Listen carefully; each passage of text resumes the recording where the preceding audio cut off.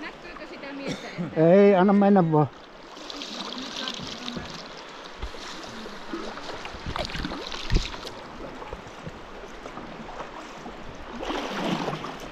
Sitten vaan perään.